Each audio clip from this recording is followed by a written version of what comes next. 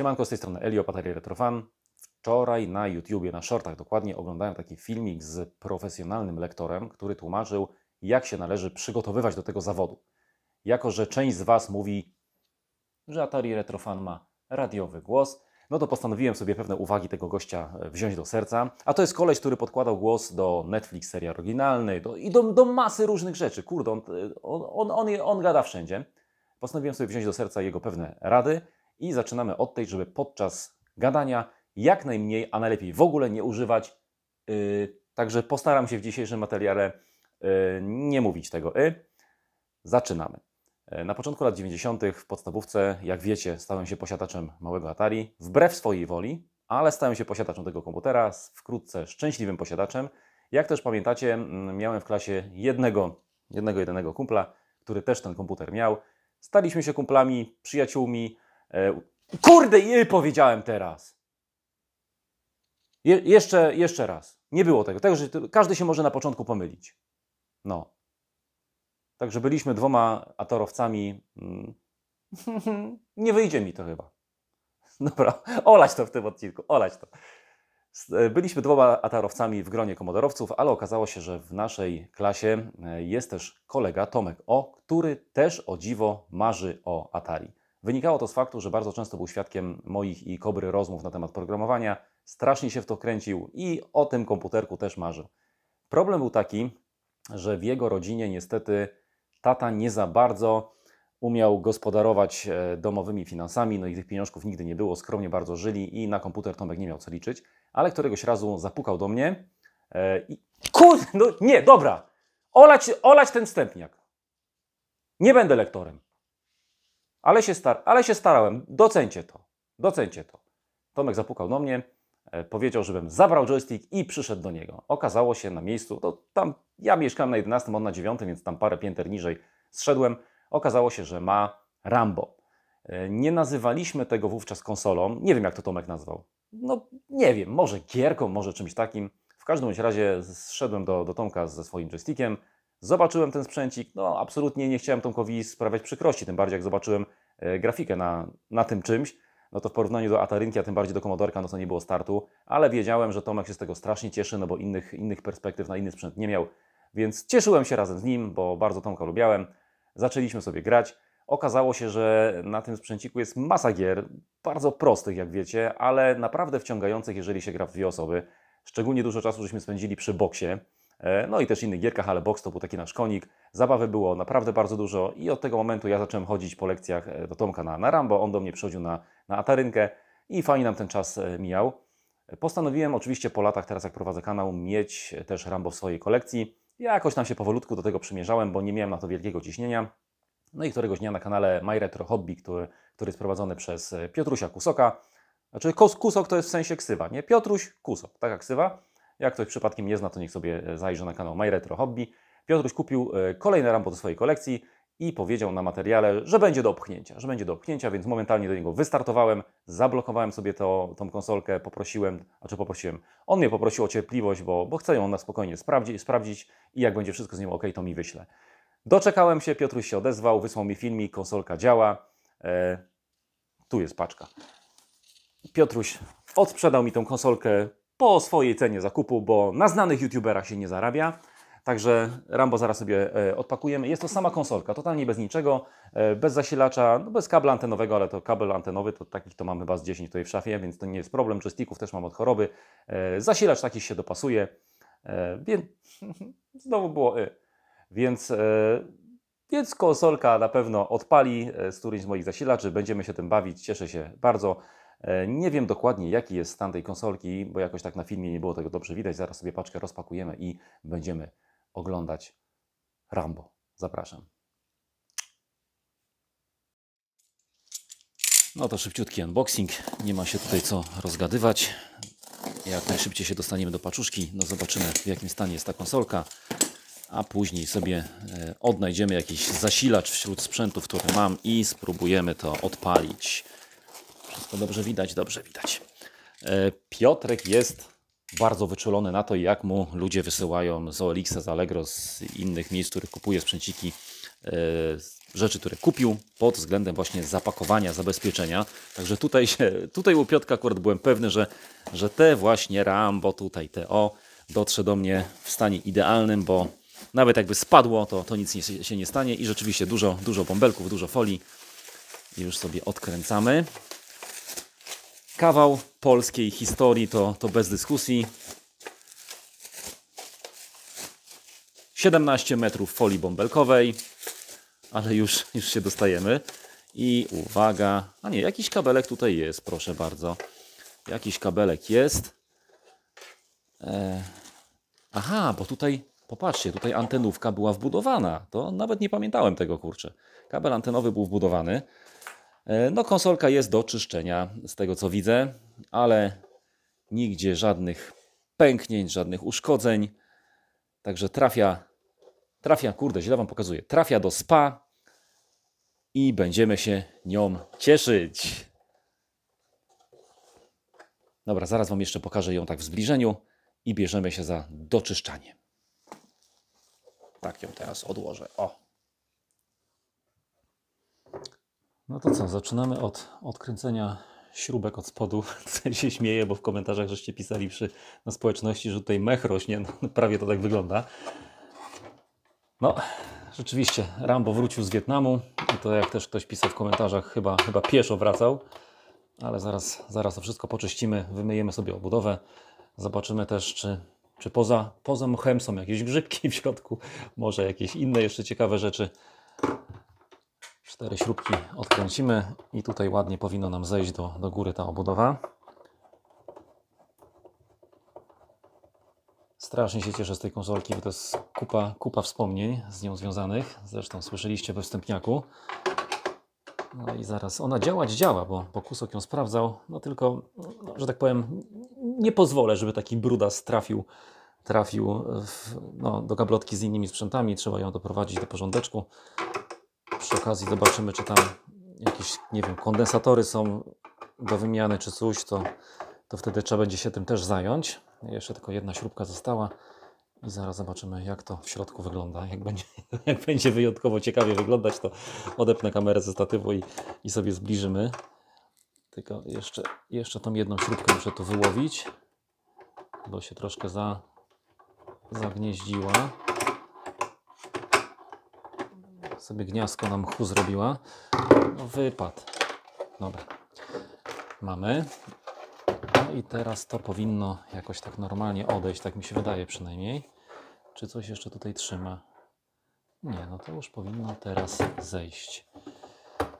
Nie wiem, jak się do tego dobrać za bardzo. O, tak. Coś tu jeszcze trzyma z tej strony. Tutaj śrubek nie ma. Nie wiem, co tu by mogło jeszcze trzymać. O, jest, dobra.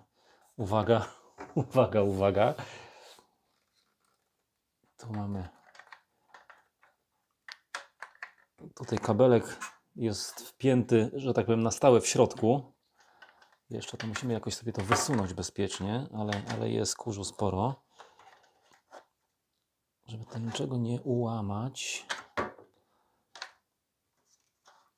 Patrzę, jak to zrobić najlepiej. Jakby coś jeszcze z tyłu tutaj. E, fuj, ile kurzu. Jakby coś jeszcze tutaj trzymało.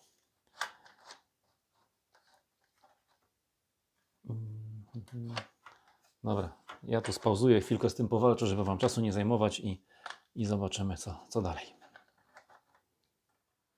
No, na spokojnie się wszystko dało bardzo prosto y, odczepić od siebie, że tak powiem. No i no nie ma tragedii, nie ma tragedii. Widziałem na filmikach e, gorsze sprzęciki w gorszym stanie. Tutaj musimy sobie troszkę, troszkę poczyścić, pomiotełkować, poodkurzaczować i, i będzie, będzie ok. Tutaj nie wiem, czy fabrycznie był taki tutaj kabelek, nie znam się. Dajcie znać w komentarzach, czy to już jest jakaś, nie wiem, przeróbka, czy to jakaś naprawa. Popatrzcie, tak, tak pociągnięte. Chyba, chyba naprawa, co? Dajcie znać, bo, bo ja się na tym nie znam. Natomiast no, obudowa, sam plasticzek zaraz ląduje, ląduje w wannie na szorowanko. E, nie ma tragedii. Myślałem, że będzie gorzej w środku. Nie ma tragedii. Także ja teraz idę, idę do, do spa. Potem składamy i odpalamy.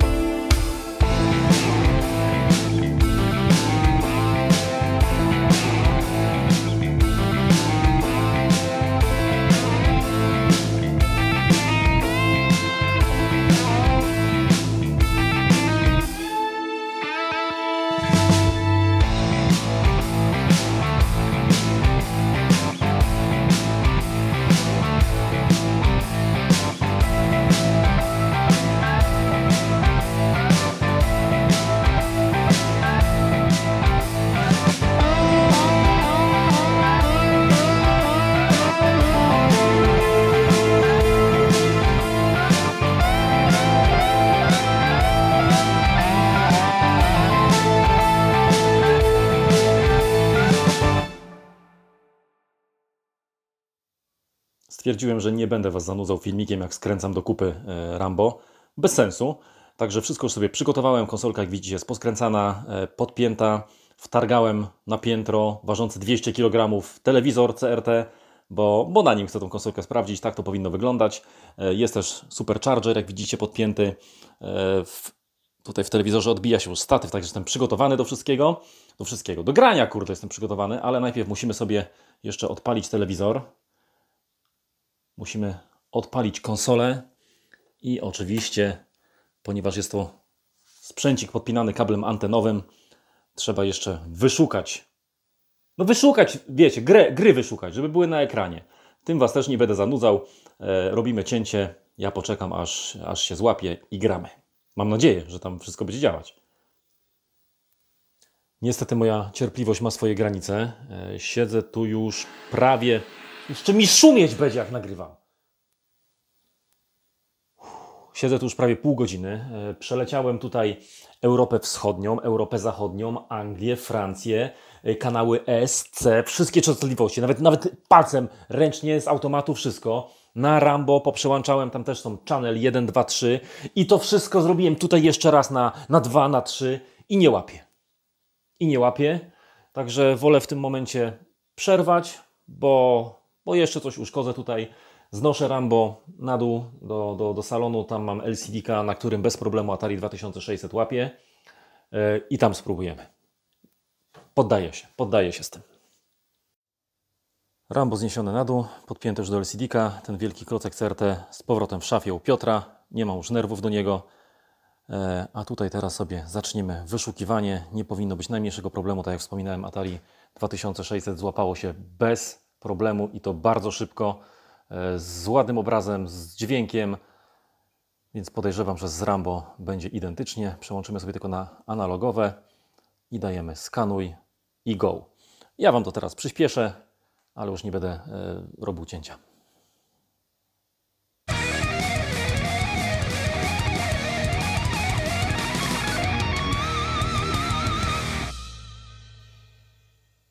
Zakończyło skanowanie, znaleziono cztery programy i już tam na podglądzie mamy obraz Atarynki. E, wyjdziemy sobie. Tylko taki słaby ten obraz, coś jest. Czekajcie, zobaczymy na dwójce. O, tutaj jest lepiej, tutaj jest zdecydowanie lepiej. Dobra, ja sobie teraz usiądę wygodnie, e, dam sobie bliżej konsolę, bo trzeba będzie tam strykać e, następną grę i następną, następną i zaczynamy się bawić. Właściwie przeglądanie gier zaczynamy. Taka informacja na początek, bo już jestem zmęczony tym Rambo. E, jak już złapałem tutaj e, częstotliwość, to niestety nie jestem w stanie Wam tutaj zapewnić lepszych warunków, e, jeżeli chodzi o widoczność tego, co jest na ekranie. Niestety zbyt duża jasność wpada mi z zewnątrz, no z podwórka. Jest jeszcze śniegu w cholerę, więc no jest fatalnie po prostu, jak inaczej kamerę ustawię. Jak spuszczę rolety, też jest totalnie do dupy przy sztucznym oświetleniu. Także to jest optymalny kąt, optymalna pozycja i tak dalej, i tak dalej, żeby cokolwiek było widać. Dobra.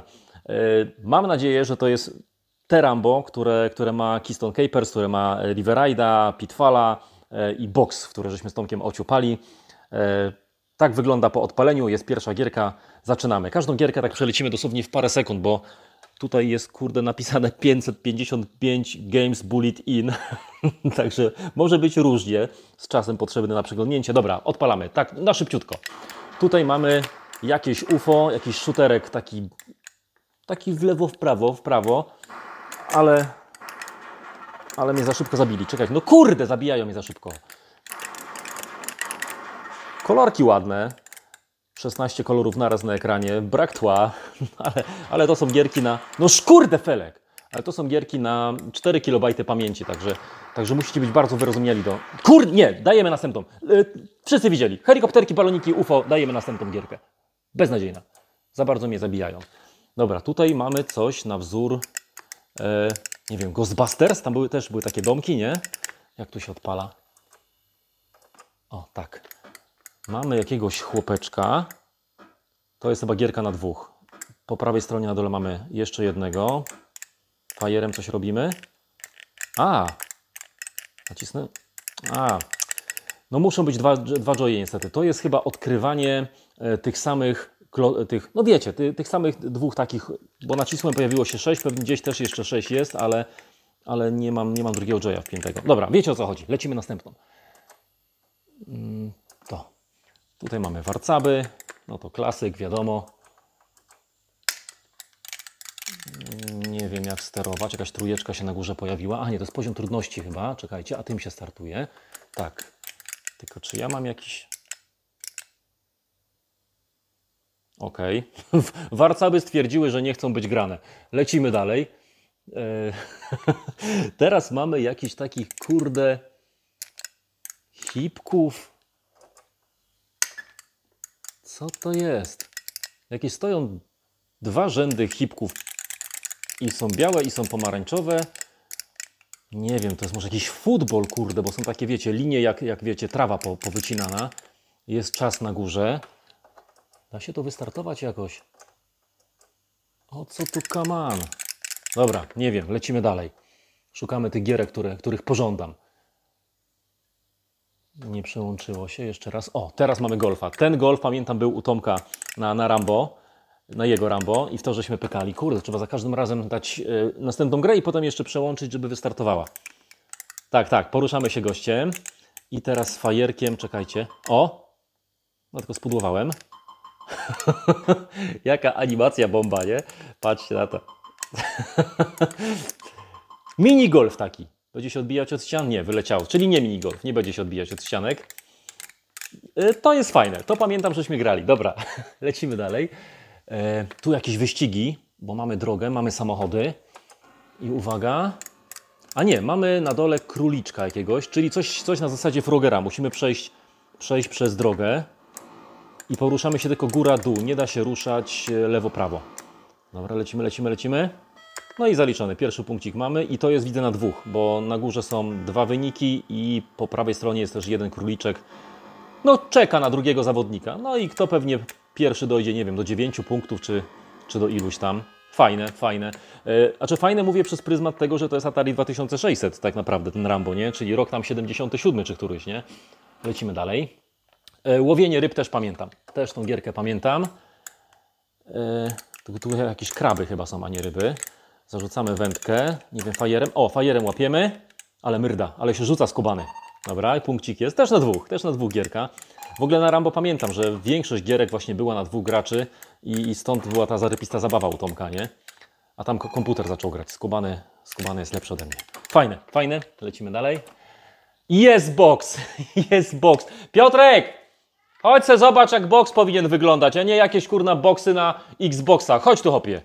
Patrz, jak wygląda box prawdziwy, synu. Tak wygląda box, patrz. Widzisz to? Co, fajne? A słabe, Piotrek. Dam Ci potem drugiego Joya, to zobaczysz, jakie to nie jest słabe. To jest zarypiste. Tata w to tyle grał, że hej, nie? Piękna giera. Dobra, lecimy dalej. Dobra, idź tam do siebie. E, tutaj mamy czołgi. E, one napierdzielały w siebie. Tak, tak, to było też superanckie. Ale są przekłamania kolorów w tym widoku. No przepraszam Was, inaczej, inaczej nie złapiemy tego. Może któregoś dnia jeszcze znajdę y, więcej pokładów cierpliwości, żeby na tym CRT-ku to ogarnąć. to było fajne, to było fajne. Kurde, to będzie ten. My Mieliśmy już box. To będzie ten, czy cartridge, to będzie ta konsolka z tymi grami, co miał Tomek. Je, i kowboje, to też było ekstra. Tutaj się napierdzielamy z lewej na prawą. Z każdym kolejnym levelem są jakieś utrudnienia. Zaczynają się jakieś tam powozy jeździć przez środek, góra, dół. Musimy się wstrzelić oczywiście w lukę w tym. To było zarypiste. No, to była ekstra giera, nie? Tylko wszystko na dwóch, kurde. Lecimy dalej. Yy, koszykówka, one on one. Atari Basketball, to jest, jest czaderskie. Patrzcie, patrzcie na tą płynność. Patrzcie, to jest klatek animacji. I pyk. No przerzuciłem. Za długo trzymałem. Uwaga. I pyk. I mamy dwa punkciki. Piękna giera. Dobra, klikamy. Yy, teraz jakiś taki submarine, coś tam, bo widzę okręty takie podwodne. Zrzucają jakieś bombki. Chyba musimy trafić na te, e, na te płytki, które są tam na dole. I co? O, dokonałem dobrego zrzutu. Tylko co dalej? Nie wiem, nie pamiętam tego. Klikamy. E, narciarza, to też pamiętam. To było super. Patrzcie, patrz jaka grafa. Kurde, za dużo białego i chyba balans bieli Wam źle to pokazuje, ale to była fajna gierka. Tu chyba też można było przyspieszać tym gościem. Czekajcie, w dół pocisnę. Albo fire. Nie. Nie, jak wciskam fire, coś się dupcy.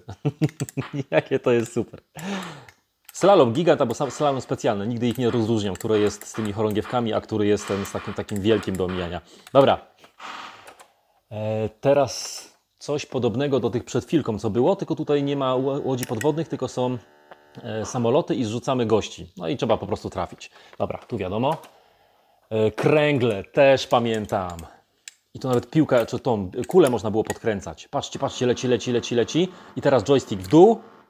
I patrzcie na to, widzieliście? Ale fajne. Dobra, lecimy, lecimy, bo jest za dużo gierek do przeglądnięcia. To mi się też coś kojarzy. Tutaj chyba trzeba było nastawić odpowiedni kąt i gościa wrzucić tam do... Tak. I ciul ryjem w, w poprzeczkę. Jeszcze raz, czekajcie. Moment, moment. O. Jest, trafiony. Okej. Okay. Tutaj e, nie pamiętam, jak, jak ta gra się nazywała, ale wiecie o co chodzi. To się tak trzeba było przeskakiwać czarne, żeby się białe zapełniało. Jakoś takoś chybaś. Dobra, nie, nie mam teraz natchnienia na gry logiczne. Dalej. Tutaj. JQ6 z tej. A, poker. Queen, szóstka, chłopek. Poker tylko na zasadzie e, no takich, no nie obrazków, tylko literek i, i, i cyferek. Dobra. Tutaj mamy a, samochody jeżdżące po jakimś takiej trasie. Strzela się. Aha, tu się. Coś na Atari, e, na małym Atari ogrywałem coś podobnego. I teraz ta kulka gdzieś tam leci i ona musi trafić tego przeciwnika, tego, że znowu nie mam z kim grać. To było fajne, to było fajne. Dalej, to jest trójwymiarowy, chyba taki ten kółko krzyżyk, coś mi się wydaje. Ale tak jak wspominałem, nie mam natchnienia dzisiaj na gry logiczne. Szybciutko zmieniamy. E... O, Snake! Snake na dwóch. Ale dźwięki są tutaj straszne, nie? No, tylko ten drugi zaraz we mnie w dupcy, no bo... No, bo... Bo nie ma drugiego gracza. Fajna giera. Eee, tutaj co to jest? Ja jestem tą małą kropką tam na, po prawej stronie. Strasznie przyspiesza. A, jak nacisnąłem fire, to wydupcyła kuleczkę. To jest chyba mini golf. To jest chyba taki mini golf. Dobra, szkoda czasu. Dalej. No i asteroid, klasyk. Ale taki jakiś trochę inny chyba. Bez asteroidów. tylko sami, sami, same samolociki. Czekaj, ciulnę mu tylko w ryja. Jak mu ciulnę w ryja, zobaczymy, czy będzie punkt. O, i wygrywam. Dobra, wygrałem. No i zaczynają się gierki zapętlać, tylko teraz nie mamy na dole zajączków, tylko teraz są jakieś takie kaczuszki chyba. No to, no to już wiem, na jakiej zasadzie powstało tutaj 555 gier. E, podejrzewam, że potem, potem będą, nie wiem, e, e, kury, węże, żabki. Tego nie było. Samochodzik, jakieś takie pagony, jakby nie, wojskowe czy policyjne. Naciskam, nic się nie dzieje. Jeszcze raz restartujemy gierkę. Nie wiem o co tu chodzi. No to dalej. O, tutaj mam jakiś samolocik. O, no to już jest grubo. Tu już jest grubo. Fajnie cień rzuca, że jesteśmy w powietrzu. Tylko nie da się strzelać, także tutaj jest chyba po prostu tylko omijanko wszystkiego. Taki slalomik samolotem, jakimś takim sportowym, wiecie. Można przyspieszać, do przodu cisnę, nic się nie dzieje. Czyli stałe tempo jest, nie strzelamy. No, no, no, no taka se, nie? Tutaj co to ma być? Jakieś takie robale z doniczkami podwieszonymi pod siebie.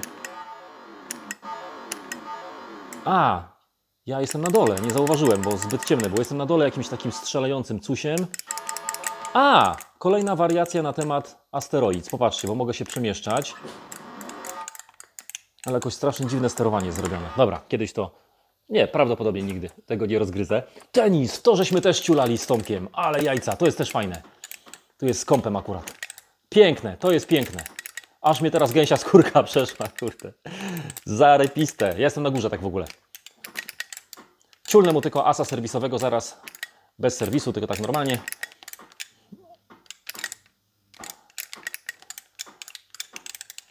Albo i nie. Dalej. To też pamiętam, kurde, to też pamiętam, to było łapanie na lasso tych takich biednych baranków. O, tego stratujemy. Nie, o, uciekł. Dobiliśmy mu w dupę i uciekł. Pięknie. Ale jak, jak, jak galop konia, nie wiem czy słyszycie takie trutup, trutup, trutup. Jakie fajne. Dalej. E, tutaj co to mamy? Mamy jakiegoś takiego ufoka, który taki... O! A, i mamy rozdupcać takie cele naziemne, tylko te cele naziemne też strzelają, więc trzeba po prostu uważać. I one w nas y, nawalają, taki, taki defender choćby. Dobra, dalej. To mi się też kojarzy. To był chyba baseball, nie? To był chyba baseball, ale coś jest taki, może są w stanie spoczynku ci piłkarze, a czy piłkarze, ci baseballiści. Dobra, dalej. O, i jesteśmy znowu na gierce, która była pierwsza. Może jakaś wariacja o, o tej gierce. Lecimy dalej. Nie, tu już się zapętla. Czyli ewidentnie nie ma. A, dobra, te 555 to jest pewnie na tej zasadzie, że popatrzcie, jesteśmy na przykład na gierce tej tutaj i mamy game select. Tam na górze się robi 1, 2, dwa poziomy trudności, także, czyli tak jakbyśmy mieli dwa golfy, nie? Jak mamy tutaj e, te przechodzenie przez drogę, to mamy 1, 2, 3, 4, 5, 6, 7, 8, 9, 8 wariacji. Czyli tak jakby 8 gier. No to w ten sposób to było wszystko liczone. E, ale niestety, kurde, nie ma ani Riverride'a, ani Keystone Capersa. E, no jest to jakaś, jakaś inna modyfikacja tych, tych, a czy modyfikacja, wariacja tych, tych gierek, które są w tym Rambo. No szkoda bardzo, bo Keystone Capers jest nie, niesamowicie ładnie wygląda jak na, tą, na, na Atari 2600. No i Riverite wiadomo, klasyk, kurde, szkoda, szkoda. Ale jest boksik, jest boksik. E, postaram się Piotra namówić, żebyśmy sobie sparinga zrobili. Dobra, kończymy. Dzięki serdeczne za obejrzenie. Przepraszam za tą jakość, nie przeskoczyłem tego, e, ale mam nadzieję, że jako tako się podobało. Trzymajcie się, na razie, hej.